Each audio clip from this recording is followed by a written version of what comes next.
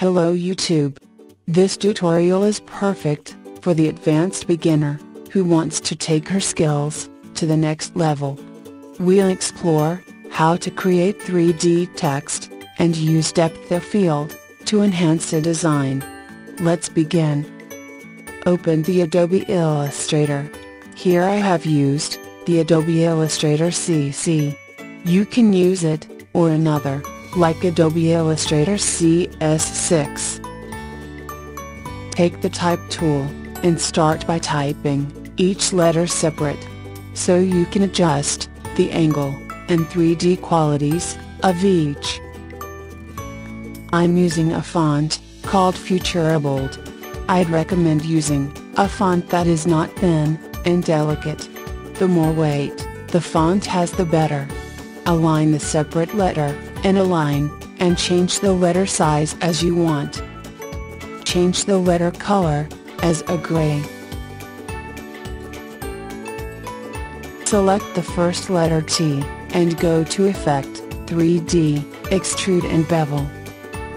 In the 3D Extrude and Bevel options, check the Preview, and X-axis 46 degree, Y-axis minus 26 degree, Z-axis 8 degree, extrude depth 30.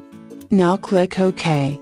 Same process can be applied, for one by one letter, by enter distinct letter.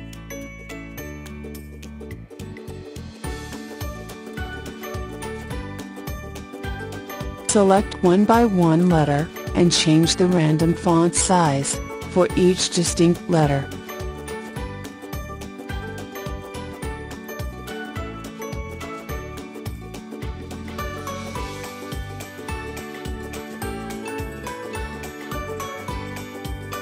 Rearrange the letter, just like some random position.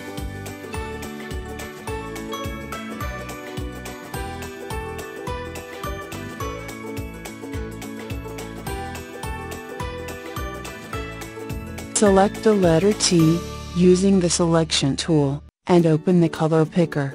Set, the color, hex value, D, F, 1, A, 2, 3, and, Click OK.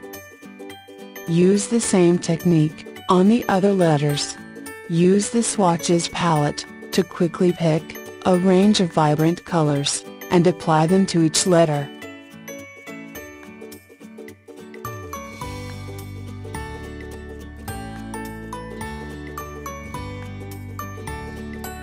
Duplicate this whole effect, and we will use it later. Now create the appearance of some letter objects, being closer and farther away.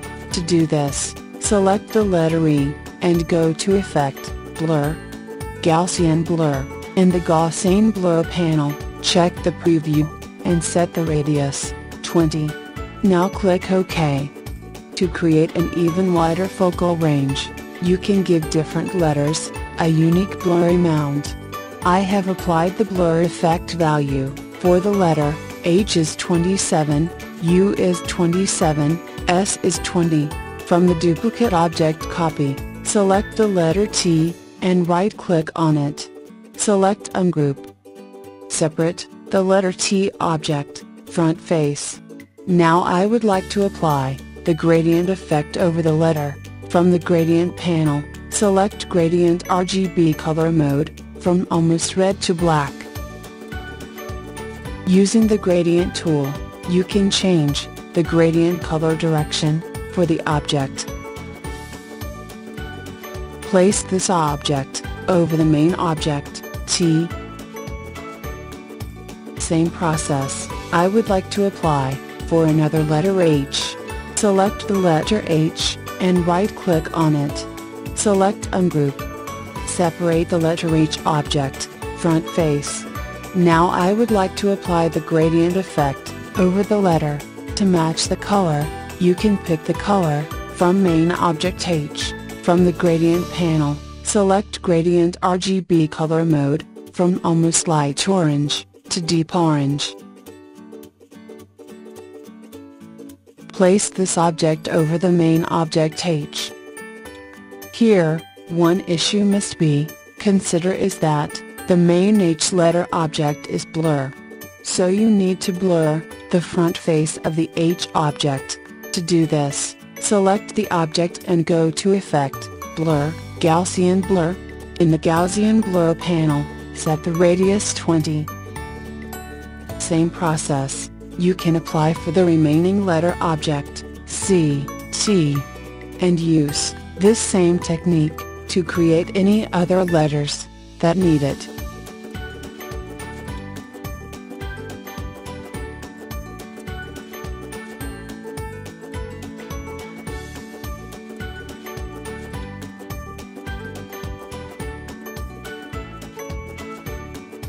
After done this delete, the supporting text letters object.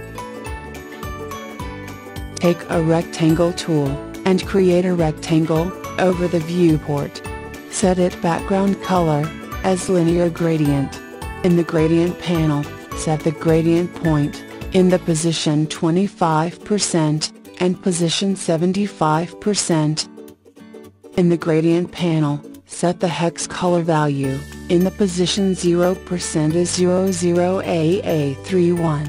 In the gradient panel, set the hex color value, in the position 25% is 6A, F, F, A, 1. In the gradient panel, set the hex color value in the position 50% is white. In the gradient panel, set the hex color value, in the position 75% is 6 A F F A 1. In the gradient panel, set the hex color value, in the position 100% is 0 0 A A 3 1. Set the gradient angle is minus 90 degree. Now take the pen tool, and draw an irregular wave shape Set this color is almost gray. Right-click on this object, and select Transform, Reflect. In the Reflect window, check Vertical, and click Copy. Then reflected object will be copied on it. Place this object by holding Ctrl plus Move button. Select the both object, and group them, by press Ctrl plus G. Set its opacity, 40%. Now go to Effect, Blur, Gaussian Blur. Set the radius, 72. Take the pen tool, and draw another irregular wave shape, on the background. Set this object background, as gradient. In the gradient panel, set the liner gradient, which has two points. And set type liner. Set this object opacity 20%. In the gradient panel, set the last gradient point, is light yellow. Select this object, and go to Effect, Blur, Gaussian Blur. In the Gaussian Blur panel, set the radius is 72.5. Now the background layer is ready. But still we would like to some object over it to be more realistic. Take the ellipse tool, and set it background color white. Draw a circle, over the background layer, simply, copy, and paste this object. You can resize, this circle as you want. Apply the same process, and create several circle, in random position, over the background.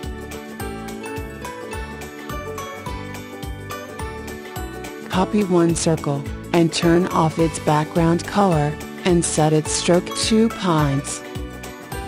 Place this object, in random position over the background.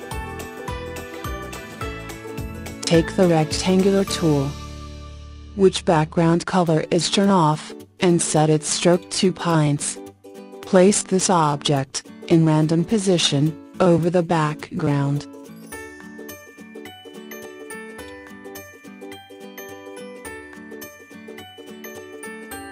Now reposition the text effect, over the background layer.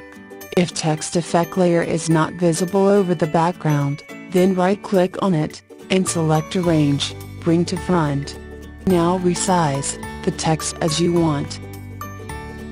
Select some circle and square object, and set their opacity 60%. Now go to Effect, Blur, Gaussian Blur, in the Gaussian Blur panel, select necessary radius value.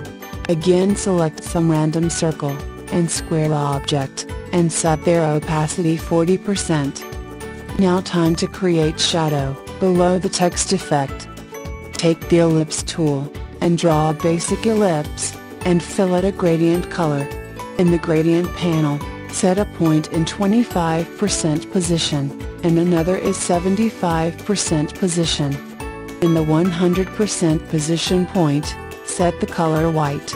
In the 0% position point, set the color white.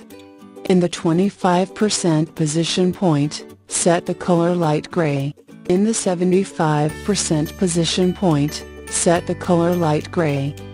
Now go to Effect, Blur, Gaussian Blur, in the Gaussian Blur panel, select necessary radius value, and select the transparency level as, multiply, resize, or reposition this shadow ellipse object, as you want, and select its opacity, 70%. Now you can see a shadow, has been made below, the text effect.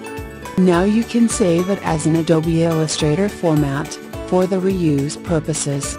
Also you can export it, as an image format, as you want. Here is the final image.